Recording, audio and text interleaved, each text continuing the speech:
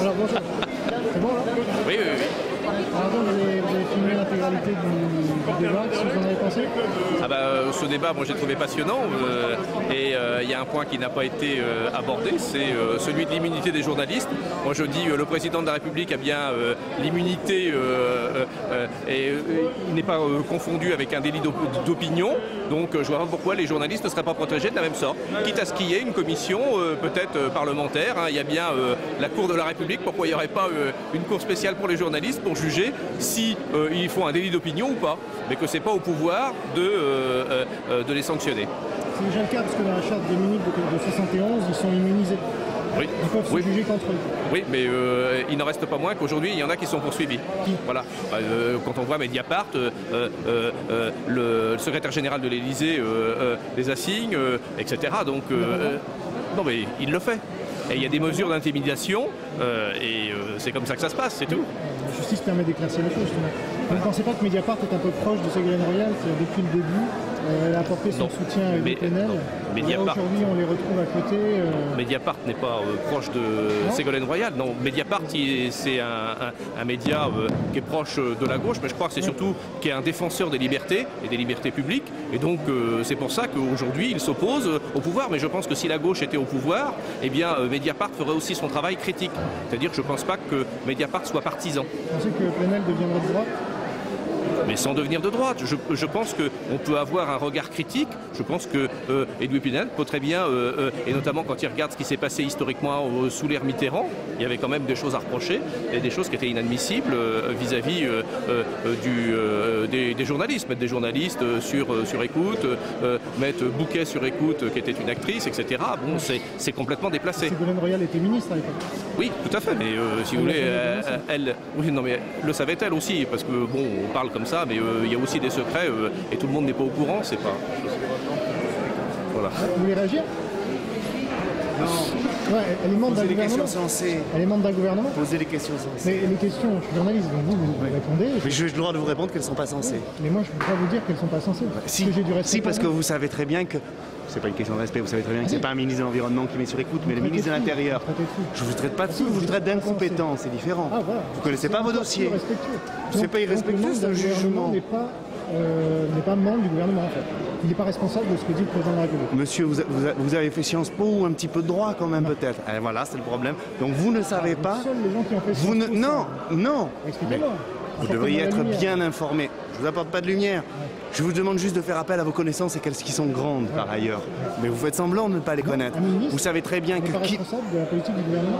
collectivement, bien sûr, ça que je dis. pas de problème pour admettre ça. Nous sommes bien d'accord, c'est la lettre de la Constitution. Mais ce n'est pas un, ce n'est pas un ministre de l'environnement qui met sur écoute. J'ai pas dit ça. Vous déformez ce que Donc- j'ai dit. Elle ne l'a jamais dénoncé. Plongez-vous, plongez-vous. C'est un fait, à vous de le démontrer. C'est une, non, c'est une assertion de votre part. Démontrez-moi et je dirai oui si c'est le cas. Vous savez ce qu'elle pense. Ah non, je sais rien, mais je suis pas dans sa tête. Vous avez le droit de jouer au faux naïf. Ça a été mentionné, elle l'a pas dénoncé. Elle aurait pu euh, dénoncer les écoutes. Ça a été dénoncé d'ailleurs par euh, un des journalistes. Vous la suivez régulièrement C'est- Ah ben voilà, c'est pour ça. Moi, je suis tout le monde. Je suis pas Ségolène Non, mais il y a des journalistes qui sont parfois affectés, c'est normal, ça peut se comprendre, euh, c'est même assez cohérent. Mais tous les journalistes qui la suivent savent très bien que si elle n'exprime pas clairement, peut-être, d'après ce que vous dites, ça reste à démontrer, mais d'après ce que vous dites, je vous fais ce crédit-là, qu'elle condamne les écoutes, si elle ne l'explicite pas, tout le monde sait ce qu'elle pense. Tout le monde sait que son, si- écoutez ses propositions, écoutez euh, euh, les, les- les formulations qui sont les siennes. Elle n'adhère pas, évidemment, euh, à ce genre de pratique euh, illégale. Vous êtes son porte-parole? Pas du tout, Ah je bon. suis pas son porte-parole, mais euh, Vous pensez qu'elle pense? Vous avez raison, monsieur. Les journalistes ont toujours raison. Non, non, mais Parce qu'il y a une déclaration de Ségolène Royal où elle a déclaré que effectivement les, Bah. les écoutes téléphoniques de Mitterrand étaient scandaleuses? En tout cas, euh, si elle ne l'a pas déclaré explicitement, je ne connais pas de déclaration qui dit l'inverse. Dit l'inverse, c'est-à-dire que c'est bien les écoutes téléphoniques? Non, que c'est mal. de sa part? Je, je ne connais aucune déclaration qui approuve Les écoutes téléphoniques. les écoutes téléphoniques. Il manquerait plus que ça. Ben voilà, donc vous avez la réponse à votre question. Mais j'ai pas besoin de l'opinion de Ségolène Royal sur les déclarations, sur, sur les écoutes. Non, avez- franchement. Ça a été mentionné par un des journalistes, elle n'a Ouais. pas éprouvé le besoin de revenir dessus en disant effectivement il y a eu parce des que tout le monde condamne, la justice l'a condamné, c'est une affaire close. C'est une affaire close, tout le monde condamne, même à droite. Mais là, ce qu'on voit quand même, c'est que des médias de gauche qui sont dans une mairie socialiste pour parler de l'indépendance de la presse. Ça ne vous choque pas C'est peut-être. Non, ça ne me choque pas. C'est peut-être. Justement. Je répondrai à votre question par une autre question. Enfin, une interrogation. C'est peut-être parce que justement, les conditions euh, d'exercice actuelles de la profession de journaliste sont biaisées. En tout cas, les journalistes subissent, si ce n'est des pressions, des conditions d'exercice un petit peu particulières. Ça a toujours été de tout temps. C'est le propre du journalisme qui doit se tenir à distance du pouvoir et qui a une, euh, espèce de relation d'amour-haine, on va dire. Euh, mais je trouve même que c'est plutôt salutaire. Ça veut dire qu'il y a une opposition. Mais il n'y avait pas de Ça veut dire que- là, par exemple. Mais qui, mais, écoute, mais vous dit qu'elle n'a pas invité vous, vous, vous, vous, vous connaissez, vous connaissez son agenda, ses coups de fil Vous en savez des choses, monsieur. Elle n'a pas explicité en tout cas non plus. Elle aurait pu dire voilà nous avons. Non, alors on va, tout dire, c'est on va dire tout ce qu'on ne fait C'est pas. choquant euh, pour un journaliste de voir que des médias de gauche dans une mairie socialiste avec une En tout, alors, socialiste. en tout cas, je vous félicite pour la question. C'est si tant est qu'on puisse féliciter un journaliste pour une question, parce que. Mais vous posez un. Non, mais vous posez un problème juste. Vous posez un problème qui est, euh, qui est intelligent. Mais je pense que c'est un débat. euh, Vient qui veut, ils n'ont pas besoin d'invitation. Je pense que ça a été fait. Peut-être aussi qu'il y a des journalistes qui n'ont pas donné suite aux invitations parce que pour eux c'est dangereux. Parce que on s'est fait plaisir, on a parlé de Moujotte, puisqu'on parle de Figaro. Si vous êtes bien informé, vous savez comment ça se passe au Figaro. Ça swing hein, au sein de la rédaction. On est d'accord hein Euh, La rédaction du Figaro, traditionnellement, n'est pas connue pour se coucher. C'est les hautes sphères du Figaro qui se couchent. C'est peut-être aussi dangereux, pour, ou moins délicat, pour certains journalistes euh, dont l'organe de presse est classé à droite ou proche de la majorité gouvernementale, de se commettre dans ce genre de manifestation. C'est peut-être aussi pour ça. C'est pas simplement une partialité des journalistes ou une partialité de la puissance invitante. C'est tout. Et le, fait qu'on ait beaucoup critiqué Sarkozy ce soir, mais que ce soit le, le président le plus critiqué de la Ve République, ça n'a pas été rappelé par contre?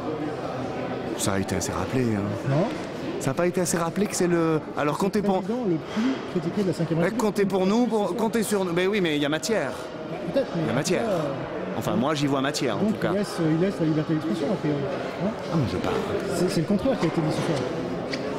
Si vous pensez ça, vous, a- a- avez, si vous pensez ça, vous avez encore de belles années d'exercice de journalisme à faire pour vous améliorer. Est-ce hein. que c'est le président le plus critiqué de la Ve République Bon, alors, c'est le président le plus.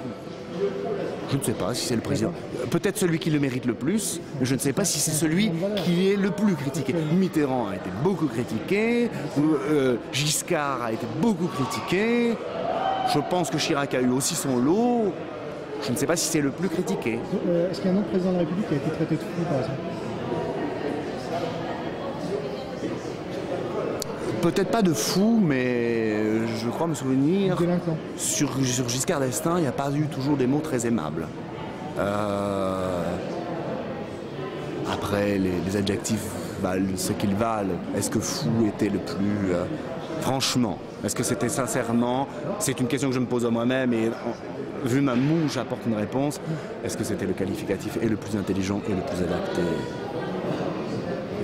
Merci beaucoup. Et alors vous êtes militant socialiste, j'imagine Oui, euh, militant socialiste, Responsable. ségoléniste euh, et, et- et à désir d'avenir, l'association. Oui, mais euh, j'ai pas de petit maître à penser, moi, comme euh, notre ami chanteur hein, qui a disparu et qui soutenait le, le Nicolas Sarkozy candidat. Donc, euh, ce que je dis, c'est d'abord ce que je pense. Si Ségolène Royal pense la même chose, c'est bien. Enfin bon, vous savez, vous faites votre métier, vous posez la question, mais vous savez bien ce qu'elle pense. Il y a ou alors il faudrait être suicidaire. Il n'y a aucun responsable politique qui publiquement, par son silence ou par son expression, peut approuver les écoutes téléphoniques. Il faut faire un autre métier sinon. hein. On est d'accord, ça n'a pas de sens. Quoi. Voilà. Je vois qu'elle elle dénonce les écoutes de Nicolas Sarkozy, mais pas celles de Nicolas. Non, mais je comprends ce que vous dites. Non, mais je comprends ce que vous dites, mais et que ça crée une gêne chez vous. Mais je crois qu'il n'y a pas de gêne à avoir parce que tout le monde considère que c'est un dossier sur lequel tout a été dit et qu'il est clos. La condamnation, elle est claire et nette. Elle est tombée de la justice. On ne commande pas une décision de justice, disent certains responsables. hein. bon, mais au-delà de la belle phrase, c'est clair, c'est condamnable. Point. On peut le dire si on veut se faire plaisir et peut-être faire plaisir aux journalistes, mais c'est condamnable et c'est condamné.